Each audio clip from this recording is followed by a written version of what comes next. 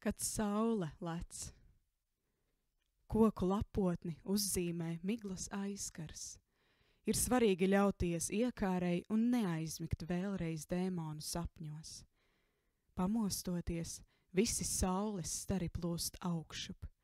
Domas plūst visriņķī un nogludina palagas stūrus, sabužina spilvenu un naktī nav vietas.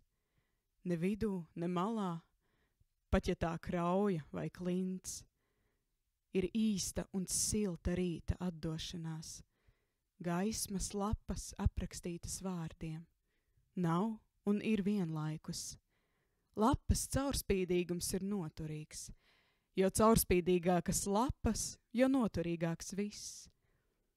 Ja svarīga piedzimšana, nomiršana, kas ir pa vidu? Un tad vēl jautājums – Kas ir tad, kad sākas mūžīga dzīve?